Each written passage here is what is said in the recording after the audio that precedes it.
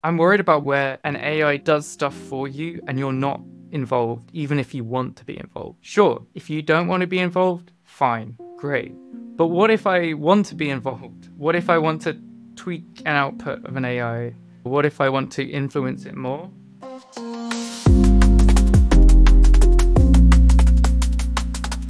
Hello, welcome to the DevTools FM podcast. This is a podcast about developer tools and the people who make them. I'm Andrew, and this is my co host, Justin. Hey everyone. We're really excited to have Lu Wilson on the podcast with us today. So, Lu, also known as TodePond, uh, has been doing a lot of really interesting demos at TLDraw. Uh, so excited to dig into that.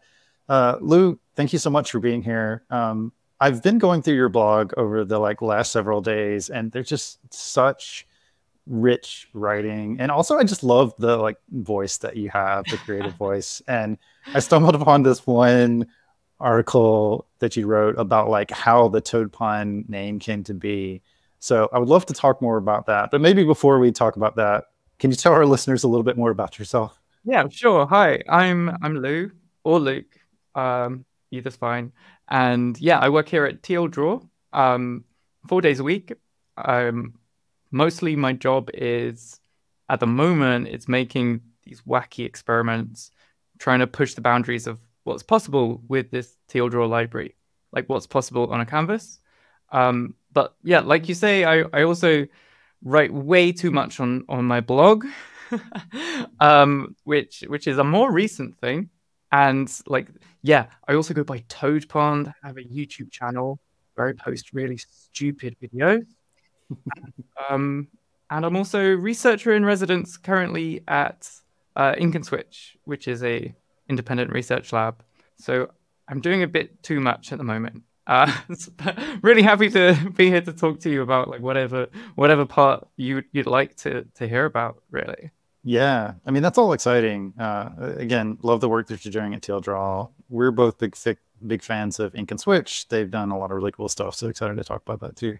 So one of the articles that you wrote that I really like is about the origin of the TodePond name, and you start by describing kind of uh, some mods that you were writing for Team Fortress 2 way back in the day. So can you kind of tell us that story about like how it evolved?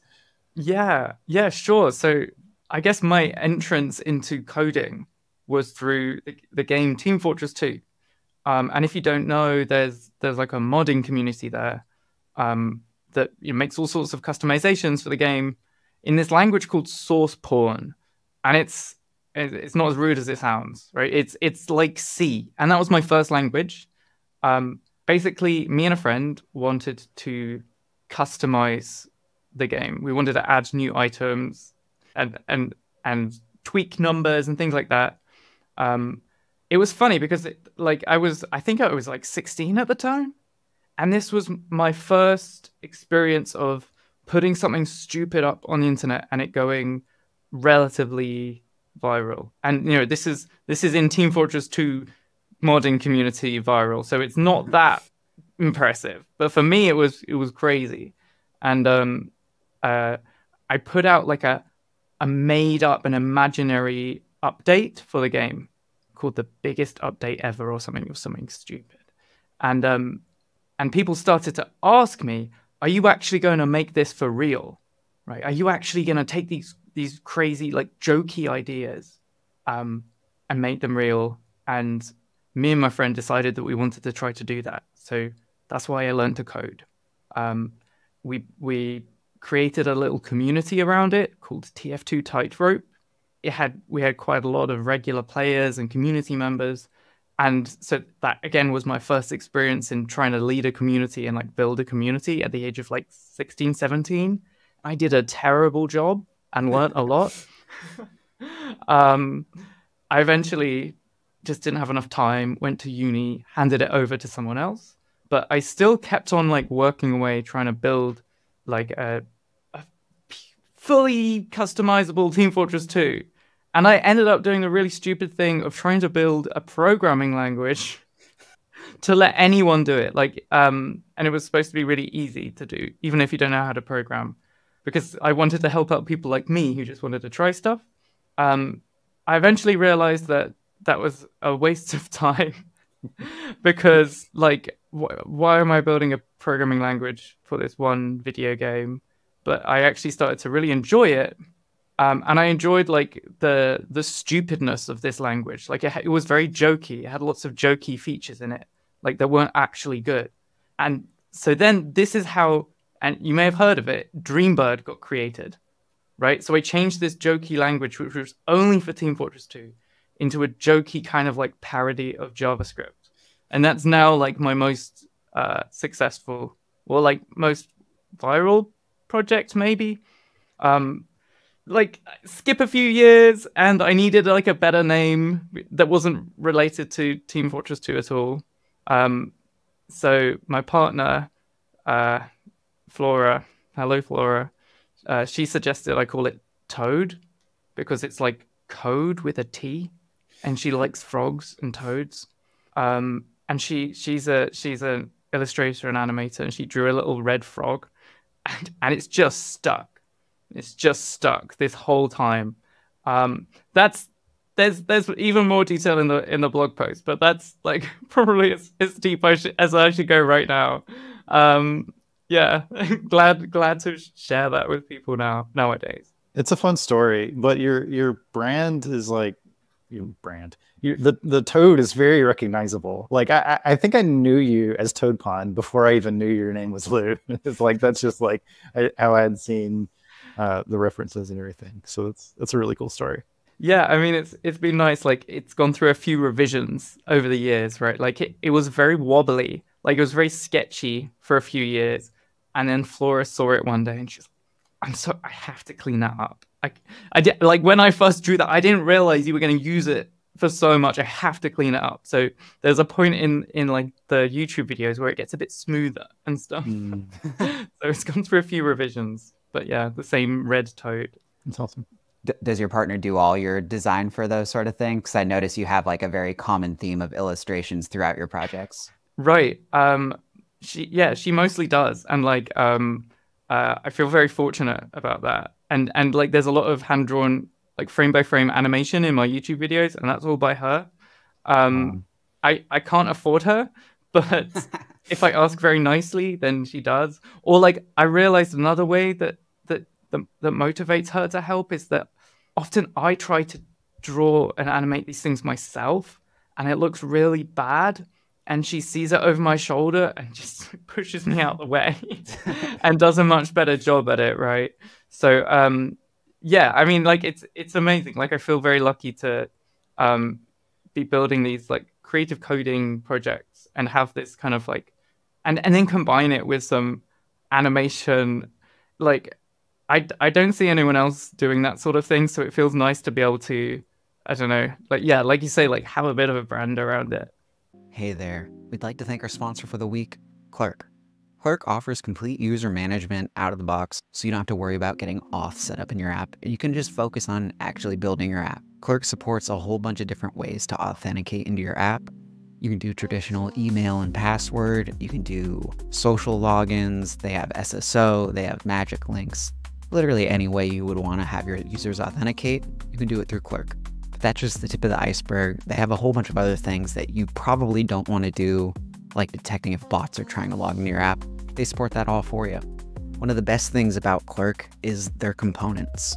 When you're integrating with Clerk, all you have to do is use one simple component usually. Today I saw a tweet where where you get a whole nice polished experience for login. That's literally just one React component, no props easiest thing to do in the world, and you'll be able to start building what you want instead of auth today. And if components aren't your jam, they still have your back. They have a wonderful SDK on many different languages that allows you to integrate with their authentication like a breeze. But the best thing about Clerk is their free tier. You get up to 10,000 monthly active users before you start paying a dime.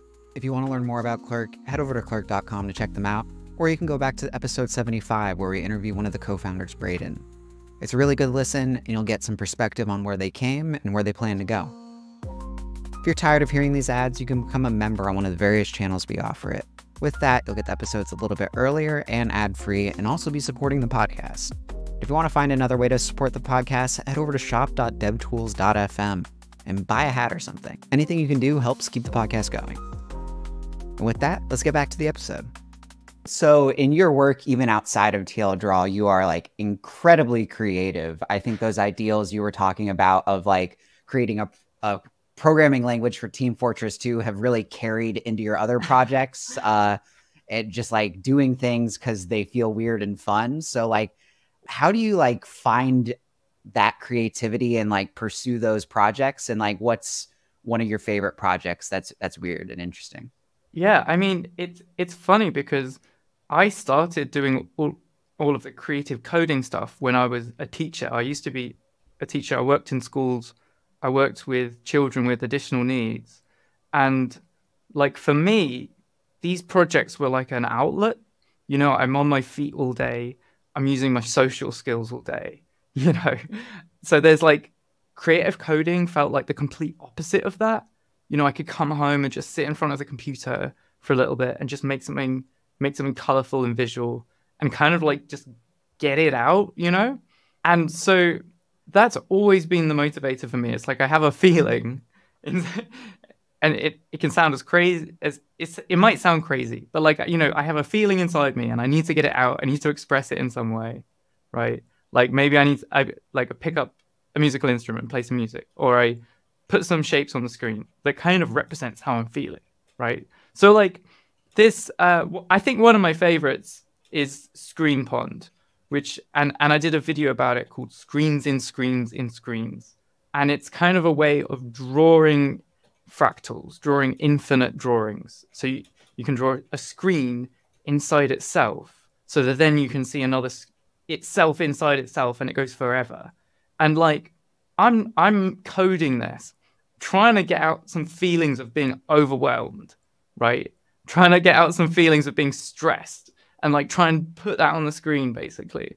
And I don't know, that's how it always is for me. I um I think some some people like find it fr- frustrating that, that that they find it harder to to like express themselves in that way.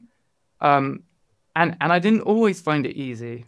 But when I when I was working with these children that I worked with, you know, I'm constantly encouraging them to find ways to express themselves positively, right? like, hey, maybe don't throw a pencil at, at Mr. Wilson, right? maybe let's go and throw a tennis ball outside, all right? Or like, maybe don't rip up a piece of paper, your your work. You know, maybe let's make some confetti instead, right? So I think like after saying that for like you know six years straight, you you you start to realize it yourself. You know, like even though I'm, you know, I'm an adult and I'm mostly doing okay, and I mostly don't need to do that, it's still something that we can do. And and I don't know, does that resonate with you at all? Does that make sense? Yeah, absolutely. One thing's led to another, and then one idea leads to more ideas, which leads to more ideas. Um, and I, and I don't have enough time to try them all out. Yeah, I recently said to my partner, if I could invent one thing, it would be the that time room from Dragon Ball Z where you can just go in and no time passes and you can like get really good at your thing. I, I want that so I can just like finish my side projects and not have to like do it during my normal life. I need that so much. I need that. Like, I mean, it. I feel really lucky at, in my job at TLDraw at the moment is that I can spend a lot of time on that sort of thing. Um, but even so, the, the my list just keeps getting longer. You know. Yeah, I definitely feel it. it. It's great that you've found an expression though that's both like an outlet, but also I think it's also just fun to encourage and inspire other people. And that's like a, a lot of what I really like about the stuff that you put out. Um, I want to talk about one more of your posts uh, before we move on and talk about maybe some of your work at TLDraw. Um, so a lot of you're you're involved in the Future of Coding podcast uh, and and in that scene in London.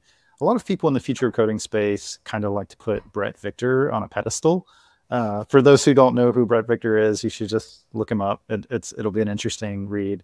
Uh, and you have an article that is really interesting where you uh, somebody had emailed you and said, "Oh, I think like Bret Victor's a modernist and you're a postmodernist," and sort of like you kind of write an article about like what that means one of the lines that you have in there that I really love is you say, uh, "Sorry, reader, better tools won't save you from shitty drawings." and this reminds me of the like tools for thought movement where everybody's like no if i just find the perfect tool i'll think so much better. And i'm like actually no you're not. Like that's not going to happen. Anyway i would just love to hear more about your like philosophy about tools and technology and sort of how you think about these things. Sure. Yeah and like for context yeah like there is kind of a running joke within like the future of coding world and the future of coding podcast that I don't know. I I um I'm constantly trying in the in the future of coding world. I feel like so much is like under Bret Victor's shadow, right? Like the number of talks I give or the number of things I make, and then like the first thing that people say to me is, "That's just like Bret Victor's stuff," you know, like and or like, "Hey, you really got to check out this guy Bret Victor," and like for sure he's been this. Uh, his work is such a huge inspiration, you know.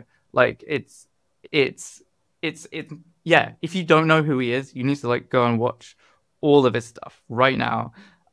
quit this no, don't quit this video. But like yeah, it's so it is really inspirational. And but I think, you know, being in that world, trying to establish yourself and your work like involves saying not just how you're the same, but saying how you're different. Mm. And I think it's very easy to say how you're the same. You know, like you can catch me basically repeating some of his same messages. But like it's it's funny to see to me it's funny to see the resistance you get when you try to say how you're different. It doesn't mean that like you hate them or you think they're a bad person. It's just like you know, I think everyone has different views on these things. Um, and yeah, like my my line about better tools won't save your shitty drawings, right? It, it's tongue in cheek, really. You know, it's a lot. A lot of the stuff I do ends up being, yeah, very tongue in cheek and kind of like intentionally provocative. Um, but like, what I really mean there is that um, I disagree on what like better tools means, right? So in in the tools for thought space and the future of coding space, I think people often think of better tools as things that are more powerful, things that can do more, right? Like, oh, but like in this tool, you can create a diagram that is 10 times more complicated, right? And I don't think having a more powerful tool or or even an easy tool means that you're you're going to make better things with it if that makes sense. So like um um TLDraw I think is is a really good example for this because like it's it's intentionally a bit wobbly. You know, like when you draw something, like when you when you draw some ink, it's splodgy, it's imperfect. And when you draw a rectangle, even it has some randomness. It's actually quite hard to make things line up if you use the default settings. Sure, if you really want to, you can go and turn all of that off, right? But like, I think you should try it, right? Try it, and it actually makes things harder it, it makes it harder to just like draw because you're worrying about making it look good, right? And so like having a hey, it, it makes it easier to line things up and look neat, but there's something else that's that's blocking you there, you know. So like um some of some of the work I've done, I made this like music making tool called Arroost. Um and I made a video about it. I'm probably gonna do more with it in the in this year. And and its its goal is to sort of uh, make this point that it's actually quite hard to use Arroost, right? It's actually kind of like a bad tool for thought, but what it does do is it's it's very playful and it's very silly, so it kind of just like helps you relax a bit, and when you're making music with it, when you're making sounds with it, you know you you don't need to worry so much about what comes out because you can kind of blame the tool like, don't worry, the tool is bad, right? like, so a worse tool is helping you because because there's less like consequence when you make something with it. And I'm still figuring out how to ex- explain this properly. I'm still trying to write up an essay about it. Um, so, and I'm kind of doing that in public, right, with these blog posts and seeing the response. Uh, this one had a slightly better response that you mentioned. Some of the other ones have had terrible responses. So that's part of like the that's why I write so much. Is, is to learn how to like write things better. Does that help at all? Does that does that explain anything? great, great. Yeah, absolutely. the, something that I, I, I tell people, I get a lot of people reaching out and like, oh, you talked to so and so. That's so cool. Like, how was that experience? And um, I guess there's like kind of two things that I end up thinking about a lot. Is like one, it's like we really shouldn't hero worship. Like people are people, and they're just they're just people, you know. And it's like, yeah, some people have done really interesting and cool things, but they're still just people. And then the other thing is like tools like only marginally make you better. It's like putting in the reps and building the skills that really, you know, just putting in the time, as we've been talking about, is the thing that's really important. And the tools can can make it easier or faster or something, but like the tools aren't the point. Right, right, exactly, exactly. There's something has to come from you, you know. Something has like something has to come from you. You can't just rely on your tools. Um, and that's it. Like I, I sometimes I feel like I need to tell some of like my subscribers or patrons or whatever to not worship me as well. Like you can disagree with me. You know, like in fact, like I want people to disagree with me. Um, and you know, just like I'm disagreeing with someone else in this community, um, you can you you are allowed to disagree with me. And um, so like I want to be like a living example of that as well. You know, you can disagree. It's fine. It's not the end of the world. Yeah, I, I think all the new AI stuff kind of it, it plays very interestingly with all the stuff you just said because it's like it's a tool it's a tool it may not be a better tool uh, but it helps you produce like maybe better things but it has this like such low amount of control it feels like no effort and it's just kind of like a fun creative space. So uh you've been playing around with those ideas a lot at TLDraw. Could you explain to us and our audience what you do at TLDraw? Yeah, sure. So like um, at TLDraw, I'm a software engineer, but increasingly so, my role is less like traditional engineering and more ex- making experiments and sharing that um, in tweets, in talks, and so on. I think the first one that really exploded was this experiment called Make Real, um, where you can like draw a picture of a website and then you hit a button and it turns it into like a functioning website. Um, so this is something I I um, I built on top of uh, Sawyer Hood's original um, demo. Um, uh, the change I made was putting the website back onto the canvas and then being able to draw on top of it, and that was really important for me um, because you can sort of start this feedback loop. You know, like you say, you know, um, when you send something to an AI, you kind of like you lose control, right? You know, whatever you get back, you're stuck with. And so for me, that's like a really important part of all of the AI things I make is that there's this back and forth, this feedback loop. Um, so yeah, so another one I made was this thing called Draw Fast, where you're like, it's image generation, but it's not like you just give a prompt and then it, you get it back and that's the end.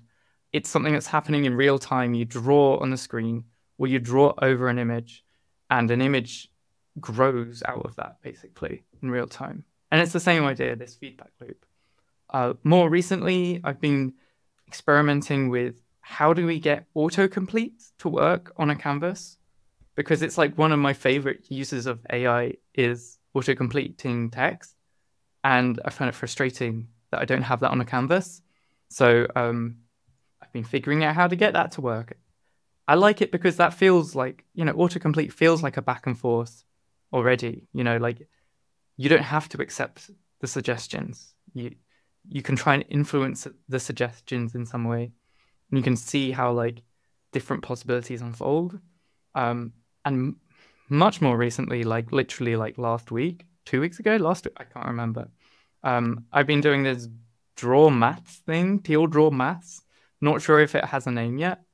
Um, which was basically, and I said this before we got onto the call, um, Apple released a calculator for an iPad, for their iPad, and they, they added this like canvas called Math Notes, where you can write and draw sums, and then uh, the AI, Apple Intelligence, uh, will like answer it in real time.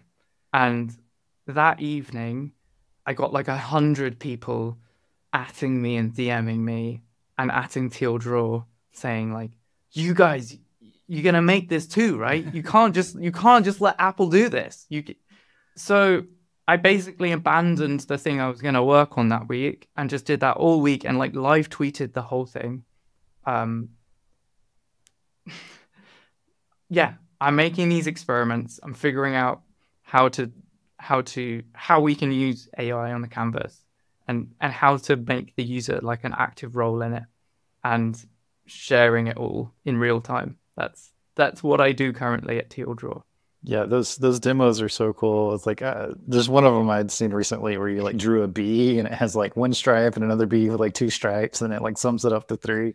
I was like, that's that's pretty hilarious. Bee maths, yeah, and that do you know what that one was because thanks to Flora actually. Again, it's always so I I um I told Flora at the end of the day, hey, I made a thing called Bee maths, and what it actually was, it's that my webcam like put me into a math sum so I could like hold up my fingers and go like two or I could be like plus. And we we've been trying it today with different different things.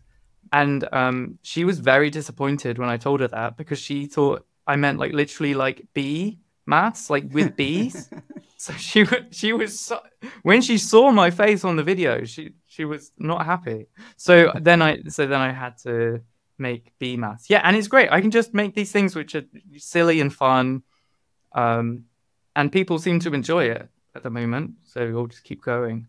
Yeah, no, they're they're awesome. How often do people get mad at you that they're just demos? Like I know a lot a lot of these things kind of get shared around. Right. People are like, "Oh my god, it, this changes everything," but you're just making demos to show off the the canvas. Right. Right. I mean, this is this is yeah, this is the funny thing. Like these are demos to show what kind of thing is possible with the TLDraw library, with the TLDraw SDK. That is like their main goal most of the time. And yeah, it's a running joke that people think that we're announcing features, right? And and it's like I'm trying to make the demos worse, right? so that people don't think that they're supposed you know what I mean? Oh, so but the thing is, it's it's actually a bit fun to lean into that a little bit. You know, I think um, part of it is that the following that's built for TLDraw is is is really nice. Like, there's a whole bunch of people who are like rooting us on, and and I think there's a bit of a you know like an in crowd. It's like it it's cool to know that they're just demos. You know, like actually TLDraw is something much bigger, right? You can you can build anything with it. And this is what typically happens. Like people reach out to us and then and then like me or uh, my boss or people on the team we we get like the the fun moment of being able to say oh no this is this isn't just a product you know like you could make this. And i think that's really exciting you know because people say i want to have this you know i want to have this feature and I, and I get to say to them back actually you could make this feature and you could make it really fast. Like I made this in four hours. I don't know what I'm doing, right? Like you know way better than me probably. Um, and yeah, let's talk and I can show you how to do it. Um, and like hopefully, you know, we can share more share more of these over time, like with like repo templates and blog posts and so on. But like um, sometimes this stuff moves really fast, you know. so um, yeah, it it it's fun um, tldraw.com itself has the same has the same like story again and again. People think that that's our product, and it's like this glorified demo, you know. Um, and and we we we do look after it. It's not like oh, it's just a demo, you know. We'll, um, and so we do we are careful with it, but um, it is essentially a demo. Um, so we just get to make something that feels nice. We don't need to worry about getting people to log in. Like you can't register, you know, if that makes sense. You just you just you just use it. Has there been any conversations about like taking any parts of these demos and maybe packaging them up into a product or is it really just like inspiration? Yeah, I mean um for sure. And like you know, these these demos uh they have lots of different goals. You know, they there's there's really short-term goals behind them around marketing and hype and interest and th- and there are longer term goals too. Um, partly, we are trying to figure out some of these really tricky problems, um, like with using AI on the canvas, right? Like um, that's that's basically our role. These really tricky canvas problems, let us deal with them. So Um, that's that's one goal. Another goal is yes, like it, we would love to at some point be able to let people use these these like these more advanced features that we can't give you if you're not logged in, basically. Um, that that would be great. Like we we've uh, we've played around with a couple of different ways of doing that, and we haven't landed on on like um, something that we wanted to ship yet. But I hope we can do that in the future. Um, one thing we are thinking of doing is putting up some of these demos as like time boxed things you can use. You know, like so um, because we don't know how much they will cost us, or we don't know like how much people will abuse them, right? Um, and they are essentially experiments. Um, that's something we might try and do more. Is say like, hey, you can use this for one day, and I'm really sorry if you missed it. You know, and and I think that could be a fun way of letting more people play with them um, as well. So there, there's hopefully more things coming soon. Um, is what I can say. So, so you've been using AI a lot in these demos. Do you do it like locally within the browser, or is it a lot of like different APIs, or just like one API that does a lot of really cool things? Like we're trying everything. We're trying absolutely everything. Um, I've like been using all of the different foundational models that are available on endpoints for their different strengths. You know, like with with Make Real, um, GPT seem to be the best with that like GPT is just like great at writing JavaScript. Um, um, for autocomplete, we were basically relying on Haiku. That was only possible because Claude Haiku was so fast. Um, it did work with some others, and 4.0 came out during the time we were building that. And that was also pretty good, but Haiku was the fastest. Some of this math stuff, uh, we were only able to do it because of Gemini. Google Gemini is really good at bounding boxes. And luckily, we just built some of those primitives like the week before. Um, so like uh, we we have also tried uh, local stuff. We've been just doing some of this hand tracking, which is like I guess more like classic AI, right? Not not the like the large models that we're we're now using. Um, we've also tried a whole bunch of llama stuff. So like this is part of our job is to figure out um, figure out how to get the most out of the what's available. And to be honest, I think um, like the best way to build products with these things at the moment is to combine them all, right? Like, like the the things I I build increasingly like use Gemini for this, use Claude for that, use GPT for that, and use something local for this. And I think that's realistically what's going to happen. I don't think people will just use one, you know. Um, but we want to be able to like tell people what we found from that in, in on the canvas. Yeah, absolutely. It's it's still amazing to watch. It's such a huge inspiration. so love the work you're doing. Um, one more question on the topic before we move on. Uh, so it's been a while. We had Steve uh, on a while ago now.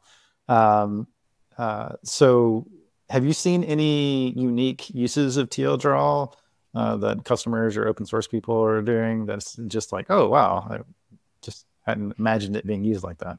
Right. Yeah. Sure. Um, like it's it's it's it's really hard to like think through because my head's like darting to all these different things, right? So on the one hand, I'm like, okay, some people just want a whiteboard, right? Some people just want to chuck a whiteboard and go, and it's kind of amazing to see like, oh right, yeah, that that just works. That's nice. Um, then there's some people using it as an annotation layer, um, and one of the things that I found quite surprising is that pe- some people have been using it as an annotation layer on top of another canvas engine editor right? So like i've seen i've seen um, some tools that are like architecture tools right? And it's and and and it's super domain specific for architecture. But it means it sucks at more like low fidelity um low fidelity canvas work. You know like you want to draw arrows you want to do like flow charts that's been interesting like combining TLDraw with another, another editor and like locking the cameras together so they move as one which is pretty cool uh, like in the open source world world, uh, we've uh, we've seen this like flowchart programming tool recently that's amazing, where basically you can write JavaScript into shapes and then just run it. And people have made all sorts of crazy things. I saw them make like Pong in it, where they're using like programmed TLDraw shapes that move up and down. And like that's crazy. And especially crazy because they actually built that before we release release this binding API that that makes it like 10 times easier. So I like feel really bad for them. Um that, that this guy called Orion Reed, who we've now uh he's now working with us two days a week, um, has been has been making like he made like Mario Kart in TLDraw, right? Like which is which is kind of not, like like top down, ah. right? Which is kind of like a nice affirmation that yeah, this is quick enough. You can basically use this as a game engine, and and using all sorts of like constraint models to make things move around as if it's like a physics engine, which is really cool. Um, it's just it's kind of it's kind of mind blowing. It's really hard to figure out like how do we support things so generally.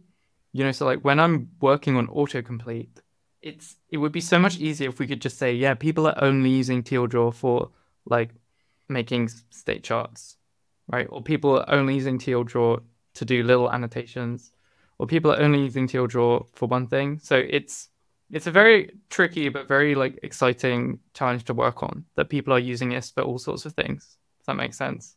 Yeah, it's it's definitely really cool though, and you know, I respect the sort of challenge of you know building a generalizable platform that also you, it still has to be a good whiteboard right?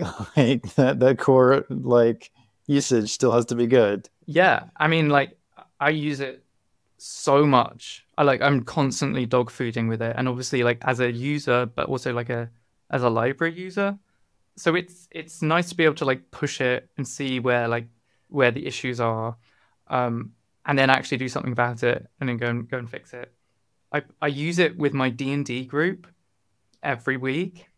And because they're my friends, they don't mince their words. They tell me if something feels wrong. They're like, Lu, this is stupid. Why is that icon there? like, what? And so, like, sometimes, like, that's the harshest feedback. But it's nice to be able to just, like, see people str- struggle with it and tell me exactly, exactly how it is. Um, and, like, the, the team here is so like cares so much about it like sometimes too much you know? But um so like it's nice to work in a place where that sort of attention to detail is so important. Yeah I, I resonate with that. Uh working at descript i've loved just being able to focus on the ui and like make sure that it looks like pixel perfect. I, I gain an immeasurable amount of joy out of making some things look like invisibly pretty. right, right. That's a really good way of putting it. Actually, invisibly pretty. I, I I'm gonna steal that. I think because okay. this is what I say, right? Like, um, the the thing is, if you if you notice TLDraw, it's like we've done something wrong, you know, which is which is kind of like a curse because you want people to notice it. but so like this is why some of these flashier demos are helpful because it's like a way of getting eyeballs on it and get people to really look at it. Um, but yeah, like with Make Real, um, when when we saw like l- loads of people using TLDraw, um, it's nice that they that they don't need to worry too much about like moving shapes around or drawing things. They can just think about wireframing and they can just think about making a website that is the goal. Is so that like drawing something or like interacting with something in TLDraw just feels natural. You don't need to know how to do it. Although like if you if you want to use it in a more advanced way, that's possible too. But like to use it fully, you shouldn't need to think about it or notice it. Yeah, that's that's a challenge.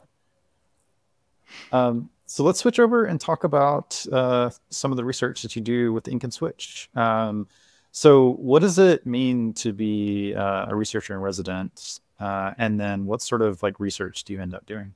Yeah, sure. So, um, what it means for me um, as a researcher in residence at and Switch basically means that I get to join their calls, right? So, it's a fully remote team um, with like smaller groups within it, and every single Friday I get the chance of and Monday as well, but I can only make Friday because I'm so busy, right? Like uh, every single week, I can hop on and show what I've been working on and get some of the harshest feedback in the world, right? From like the smartest people in that field. um, uh, and and also to see what other people have been working on and give feedback, and to like be in that that network um, with uh, with all of these internal communications. Um, so and part of that can include like me uh, putting on uh, collaborations or meetings with our team here, or just more generally. So like for example, like this week, uh, me and a couple of people from the TLDraw team uh, were like sharing demos and work in progress things with some people on the Ink team there. So it's like this mutually beneficial situation. Um, so it sort of pops up because um, I did a talk at a conference called Live last year, and a, and a bunch of the Ink and Switch people were there, and we got talking, and that's how it came about. Um, so the work I'm doing is is like a continuation of, of that work, which is not TLDraw work. It's I guess like TodePond work, right? Um, and so for me, that that has recently been um, working on this music making tool I talked about, is like a live programming tool. Um, and and I've been doing this weird project called Seat, uh, which has been quite unusual because it's about how do we debug programs better, which sounds boring, right? And and the weird thing is that I made like an initial demo for that um, that lets you debug your program, uh, um, like and and in a, in a in a in a very simple way. And I thought it was going to go down really badly. I thought people were going to hate it, but for some reason it resonated and, or like it hit a nerve at least. So so that currently I'm figuring out why basically, right? Like what what's what's currently available in the debugging programs world. What do people like? What do people hate? What do people have trouble with? And um, I'm trying to take forward what I've learned from like my more visual programming and seeing if it applies to more traditional programming. That's basically my research at the moment. That's awesome. Yeah, it's it's an important area. Uh, I feel like one of the hardest parts of programming is when things don't go right. right. Yes. And and like typically what that means is like switching modes, right? Like um, you do all of your coding in one place and you tend to do all of your debugging in another place. And there are some like there are some better tools out there that let you do that more in one place. Um, but they don't seem to be the norm. Like they haven't been picked up as the norm in the industry, at least from what I can see. And so I think that's an interesting question. Like, why isn't that? Why isn't that the norm? Is it because actually it's a really hard problem, or is it like more of a cultural thing? Like, are people attached to their step debuggers or whatever it is they use, or their logging, you use console logging or whatever? Like, and it's been interesting to ask people about it because, like, um, some people I think it's a sore spot. Some people hate step debuggers. Some people love step debuggers, but they and they think that everyone else is doing it wrong, and that's why they hate it. So it does seem like there's there's maybe something cultural involved. Maybe so. So yeah, I don't know yet. That's basically where my research is going to try and figure that out. I'm excited to see what you come up with. Thanks. Cool. So on each episode, we like to ask a future-facing question. Um, and for you, I want to ask what do you think the future of software interaction looks like with the dawn of AI tools? Things are changing, and I think UI is going to have to change to accommodate how people are thinking about computers differently. Right. I mean, okay, that's a big question though, because there's like, what do I think will happen and what do I want to happen? Right. Because I think I'm worried, you know, with like AI becoming more and more used, I'm worried about what we were talking about earlier, right? Where an AI does stuff for you and you're not involved, even if you want to be involved. Sure, if you don't want to be involved, fine, great. But what if I want to be involved, right? What if I want to tweak an output of an AI? You know, what if I want to influence it more, right? So, like, I'm very worried about um, about people who use computers having less control and more control going away to big companies and models and we sort of lose our understanding of that What I want is for people to be able to like collaborate with the computers if they want to, right? So that they they can influence it and steer it in a way. Like that's what I'm trying to explore um, here. Uh, I want I want I want it to be a feedback loop, if that makes sense. Um, I don't know which one's gonna happen. I do you know what? I'm trying to so I'm trying to show people how things can be better a lot of the time. You know, I'm not necessarily gonna I'm gonna be the one that's gonna see it through, but I'm trying to like show give people a taste of like, hey, what what does a slightly better AI collaboration look like? What does a slightly better creative tool look like? What does slightly better debugging look like? Um, and I think it's quite important because we use computers so much, or at least I do. Maybe I shouldn't.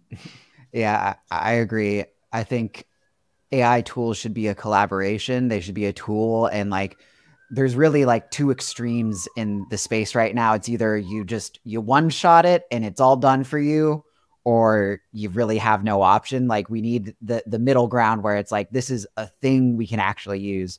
But I feel like given how Gen Z is with phones and not knowing how to send emails, the the events that are about to come are are easy to predict. People are going to know how to use computers less. I find it odd that like our generation is might be like the most technically literate one just because we were there before smartphones and they're at the end of like the computer age so like just by happenstance we are like the people best equipped to use a computer right now yeah i mean it's it's hard to tell I'm, but like i do have hope from from people innovating on these uh, on these tools and i think like even even seeing like how uh replit right has like made some of made coding more accessible in many ways, right? Like even when I started code when I started coding, it was even a lot harder, you know.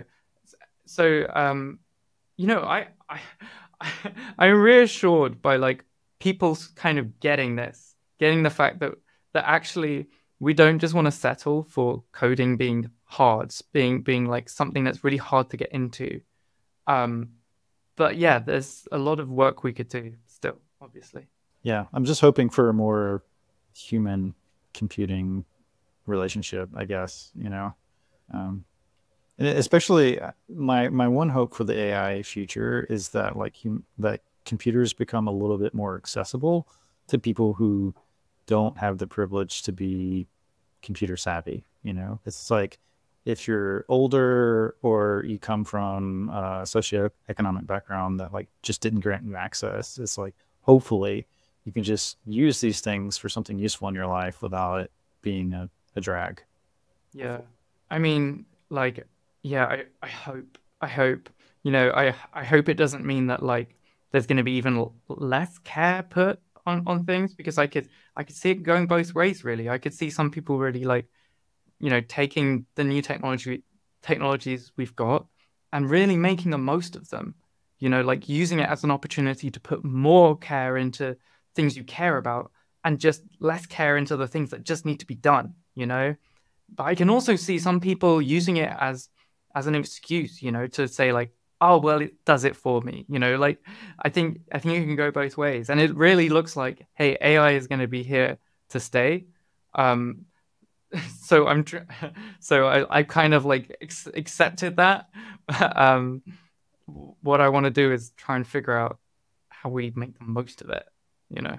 Cool. And with that, let's move on to tooltips. So my first tooltip is not the IRS.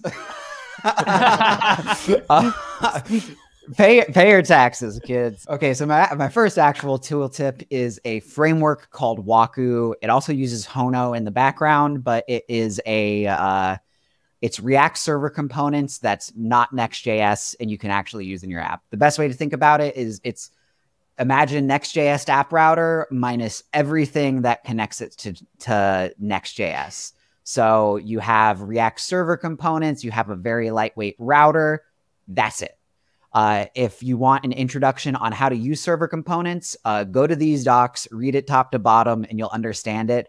Avoid the next docs like the plague if you want a simple understanding of how this technology works and how you should use it. So if you've been looking for a tool to try out React server components and you haven't wanted to wade through all those docs, I highly uh, recommend Waku.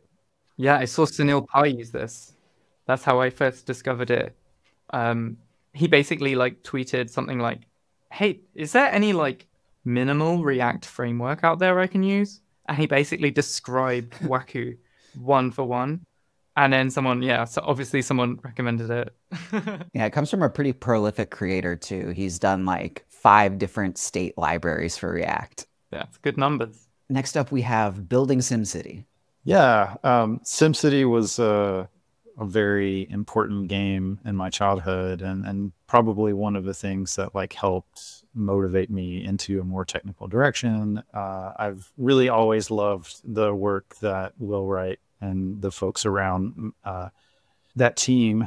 Uh, just like Spore and all the other games that they had built, they're just like fantastic. The Sims, of course. Um, so uh, this this book is sort of uh, an encapsulation of the story around like how SimCity was built and its history, and just talking about the history of simulation and, com- and computing. And uh, it seems like it's going to be a really really fascinating read. I haven't bought it yet, but that's on my to do list. Um, so yeah, definitely if if you've been inspired by SimCity or you're like interested in some like gaming history in early computing or you know whatever it may be this seems like a really cool one to check out. And 90s gaming is such a crazy time for computer mm-hmm. science. Like if if i ever want to be humbled all i have to do think is all i have to do is think about roller coaster tycoon. It's like they built that whole thing in assembly. I can't i literally can't even imagine how that would work. Right right. I played so much of that game. Yeah it was really fun. Next up we have salad room Right, Salad Room. So, Salad Room is a way to share files between different computers or devices. Um, and it's made by a friend of mine here, part of the London coding scene, Anthony Cossins. And this is why it's important because on our team, we often share around GIFs, right? Like GIFs to be posted somewhere. And if you just share it on like Discord or like Twitter or something, like DMs, then it compresses the hell out of them. And then they end up looking pants when you post them up. So Salad Room is great because you can you can do it and it doesn't compress it and it's super easy. You just type in a code. We even ask them for like our own custom room for TLDraw. And we have a, like our own custom room that keeps things up there a bit longer, which is nice. Highly recommend it. It's cool. I like that and uh, the illustration. Yes, yes, yeah. Salad Room is a bit of a yeah, like a funny brand going on. I don't know. It's I I feel like it's very British humor, you know. So uh, my last tool tip for the week is Turborepo V2. They added a really cool terminal UI mode where like before if you're running a bunch of scripts with Turbo, it just kind of blasts the output all into one log really hard to understand or even like see the issues that are going on. Uh, with V2, they released this really cool terminal UI where you can like literally see each script in isolation, switch between them. Uh, it's just so much better. And this replaces so many tools for me in like my monorepo tool set. Like usually you want to run like a server and something else at the same time and you use like concurrently or do it with like bash processes or something this is such a better DX. You can like see each one, see the errors in its thing. Uh, I've been really enjoying it. So if you haven't checked out Turborepo, go check them out. And if you're on V1, upgrade to V2. It's so much better. So I have a literal tool tip today. So there's this website called toolstash.com, which is really fun. It is a way to inventory your physical tools. So you just take a picture of it um, it's got a nice uh, usage of AI, which literally just like gives you an auto classification for what the tool is. Um, but the whole point of this uh, site is to like keep inventory of your tools and you can like loan them out to people so you can keep track of like who borrowed what tool or whatever. I love it. Just very simple, very straightforward, solves a good problem. It is really a tool tooltip. That one. I like it. Yeah. finally an app to tell me that I did buy it and I did lose it and I have to go buy another yes. Okay, next up we have just GitHub. Right, right. Hear me out. Hear me out, right? GitHub, you may have heard of it, right? but like Salad Room, when you put GIFs and MP4s or whatever in issues, pull requests, it does not compress them. So what we do a lot at TLDraw is say like when there's a when someone when you put in a pull request that has like a clear change that you can show visually, it makes sense to attach a GIF, right? To communicate with the rest of the team what the change was.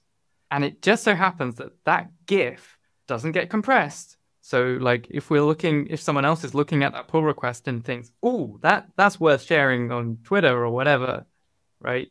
Then you can just copy paste it up with no compression. So add GIFs to your pull requests and your issues and everything. Like it's it's a nice like visual record that can also double up as marketing content. Great tip. And then last up we have Kap. I love this program. This is how I record all my GIFs. It's Kap. And and I'm just surprised that more people haven't heard of it. Um I have like a little cheat sheet of like how to get the most out of it. Um which is like way too boring to go through here. But like if anyone is out there and wants to use Kap and wants to know how to make like the highest quality GIFs that look smooth and are small, etc., then um, reach out to me. I'm I can tell you. Uh, I'll do it for free. Um, so yeah, Kap is like the best GIF and video re- screen recorder out there. Full stop. Nice. That's awesome. I'm checking out. And that wraps it up for tooltips this week. Uh, thanks for coming on, Lu. This was a really fun conversation about all the things that you're involved with and how AI and code might blend together in the future. Thank you so much. This has been great. Thank you. Yeah, Lu, it's been absolute pleasure. Love all the demos that you've been working on and all the stuff that you're posting. Uh, and, and again, your writing is amazing. So thanks for doing it and keep it up. Thank you. I will do. Keep following.